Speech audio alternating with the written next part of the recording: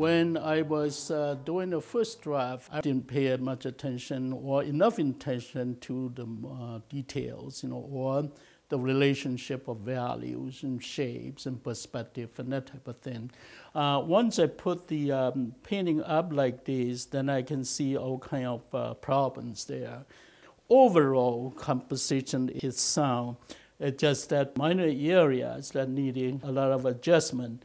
Now, when I say that when I start painting on a wet surface or on a moist paper, that will allow you later on to make modifications easier. Now, the thing I can see here, say for instance, the two umbrellas here, they're very colorful, but then there's no reason why they had to be placed side by side. Is that a, big, a big problem? No, it's not a big problem. All I need is to suppress one, meaning that you reduce the value only the other one would show. Simply just a darker value in there. Now, that umbrella is still there, but because I reduced the value, it does not read as well. You wanted to get another umbrella? Oh, that's sure. We can give you another umbrella, but it's sort of further away. See that? It's sort of further away and smaller in size and lower instead of higher. So this again we will give you another umbrella in here, okay? And then we'll add a touch of color to that uh, later on. The uh, other very obvious thing is that this is an awkward situation in terms of the design. A pole going all the way up uh, with a person, you know. All I need is that to place the pole behind this building, okay? So I will just wipe this out. I will just wipe this out. See? So now the pole go behind there. What am I going to do with this? Well, simply again, just suppress the value. Okay?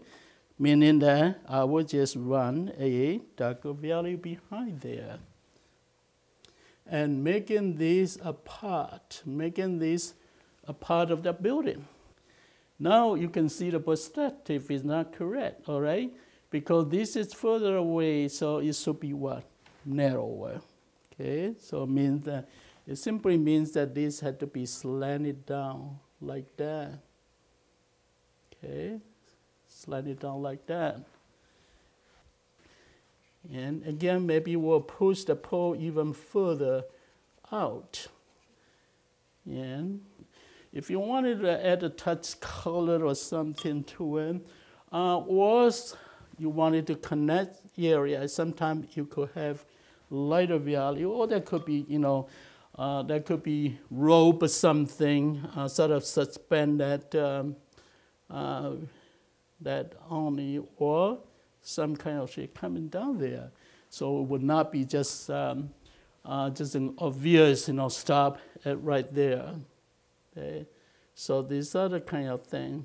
All right? So at least now you see you don't read the pole right from the top and all the way to the sky. All right, what else? Now say for instance in this case here, well, it's sort of a straight line down there. Maybe what we could do is simply just make this part sort of make it a little bit wider than the upper part of that. So what I would do, simply just uh, carry the dagger value to this. Okay.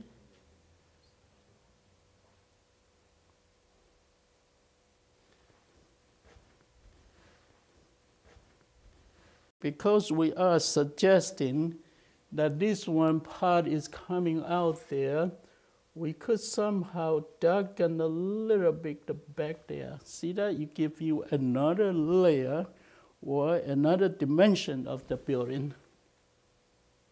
And again, I think the perspective is not right. You know, the only uh, the perspective, I think this has to be pushed back up. This had to be pushed back up.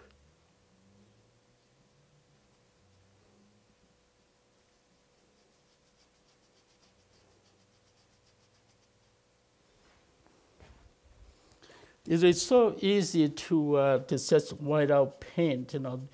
Uh, if it's necessary, certainly you can, uh, you can take it down to the paper white, but it's uh, oftentimes, is it really necessary? I don't think it is necessary. If you say that, well, now it's getting muddy, uh, I don't like it, you know, I don't want to buy your painting, you get money. Well, okay, okay, don't worry, I will clean up a little bit for you. Just grab there, just grab there. Okay, now you got a clean slate to start again. Now the car may be looking a little bit awkward, but well, we'll put a light there so that the people could drive at night. Uh, see again, simply just uh, wipe it out. So that will be the lamp there. Okay.